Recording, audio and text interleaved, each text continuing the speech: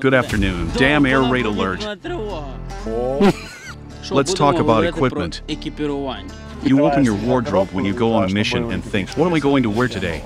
Full body armor, Kevlar body armor, Kevlar pants. I have underwear, socks, a toothbrush, and toothpaste. Yeah, I can't see you at all right now. See, and if you do this, wow, I am here. I'll cut the video later. Everything will be fine. Please introduce yourself and tell us a little bit about yourself.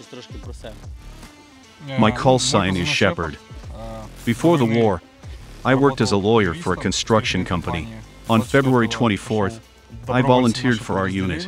I'm still serving here as a combat medic in the infantry. Come on, Raver, you're up. My call sign is Raver. Before the full-scale invasion, I lived a quiet life. I worked as a CEO, ran a company. When all this crazy movement started on February 24th, I already knew where I was going. And 24th came. You veiled the word war very well. All this crazy movement. It is especially suitable for the call sign Raver. Why the infantry? Why did you choose this particular military specialty? I went to serve in 2015, and almost all the time until the release. I served in assault units until 2021. So all these years, you could say, I was trained in assault operations, work with weapons, combat medicine. Of course, I'm interested.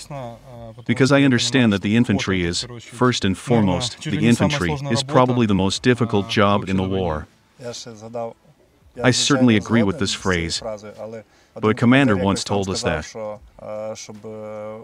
To fight in the infantry, you either have very big balls or a very small brain, but I don't agree with that.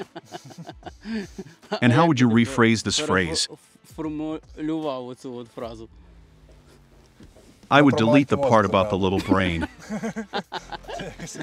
Why did you join the infantry? On February 24th, there was no such question. Where do you want to go? I came, I have friends with combat experience. I just went with them and I said, Tell me what to do, I'll do everything with you. In your opinion, what is the most important skill for an infantryman? Wit and a shovel. Yes, you need to be smart and always pay attention. And look at everything around you and analyze it. An important skill or not, I don't know if it's possible to develop this, is stress resistance. Because, of course, in combat, you need to have, as they say, a hot heart and a cold head. Few people realize that there is also the concept of army life. There is not always a hot shower or a normal toilet. You have to live in a trench, eat something incomprehensible. And stress tolerance is how long you're willing to endure these conditions. Because there were people who just couldn't stand it. And then they would leave, just because of life. A person can even be well trained physically, trained, shows good results in all training sessions, and you think this is a real super warrior. But it will live in bad conditions for a week or two.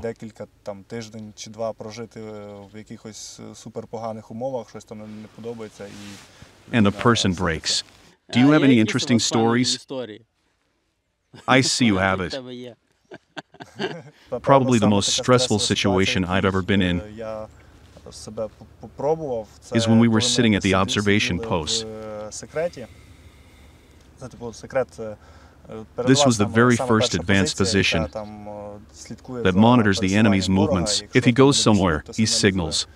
And the wind picked up, it was very noisy, there is a grove around, visibility is very limited, and nothing can be heard. And since we were there for three days, I didn't sleep well. I was literally passing out. I looked at a single point and realized, I can't see what's in there. This happened an hour before we were supposed to be changed. I'm sitting down and suddenly I see with my side vision something's moving. I turn my head and literally seven meters away, and I counted later, three enemies are coming. They are passing by.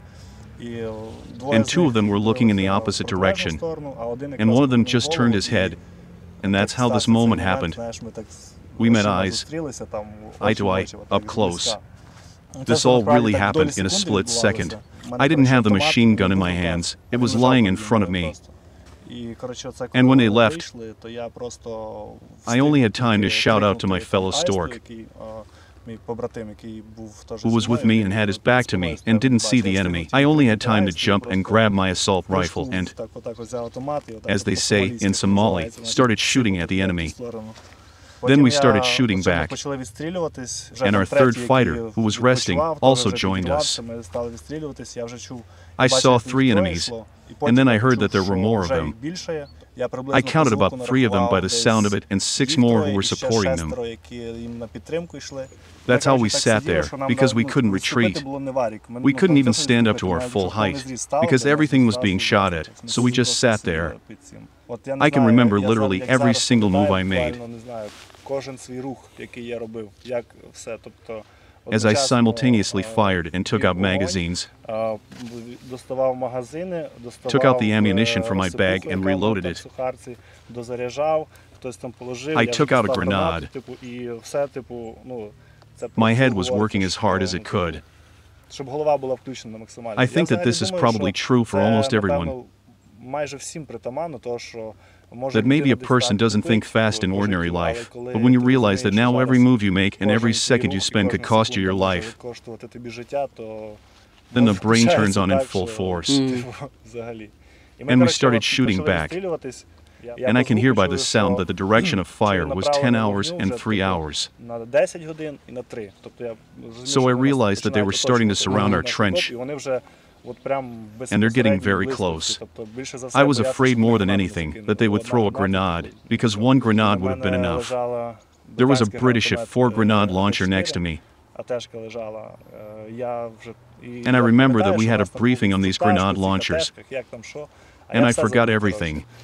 And it's good that they have instructions. It's in English, though. I don't speak English very well, but at that moment I learned it. It's just top notch. I looked at it, assembled a grenade launcher, and put it next to me. I started shooting back. I hear the vehicles moving on, but at some point, we were told that the equipment had stopped and was starting to move away. So they started to move back. As we were told later, the enemies have already started to run towards us, their reinforcements were coming. And even though it was practically just the three of us shooting back, we were able to create something called fire density. So we were shooting continuously. And at the moment when the fire stopped, I had only two magazines loaded. I would have run out of ammo if this had gone on much longer, and that would probably be the end of it. But it's good that we fired back and they got scared. The whole group turned around and ran away. An hour later, we were switched. I haven't slept properly for three days. But this situation cheered me up so much that I haven't slept for a very long time. I remember when they brought us to sleep. I was still on adrenaline. I walked around, told them, and then only when I was already in bed, only then did I realize. like, what was that all about? I came to realize what had happened very late. And you will tell us about some of the nuances of the work of a combat medic in the infantry division? First of all, it should be said that a combat medic is a fighter in the group. Wherever he is, he participates in the same way in any operations. It is very important for a combat medic to understand the circumstances, because there is no such thing as a movie. When the hero medic is running in front of the machine guns, rescues his comrade, and crawls away with him. Most of these stories end with medics being killed. Unfortunately, we must reject the romanticization of war. Sometimes you have to make difficult decisions. If you realize that you're about to crawl to save a person, you won't necessarily be saved, but there's a huge chance you'll be killed. Then maybe you should consider leaving that person. Mm. Unfortunately, this is the reality, no matter what anyone says, because there is a basic rule in combat medicine it is your own safety. Because let's say you don't save one person and you survive, you can save 10 people in the long run. It should also be understood that in combat medicine you may be dealing with vomit,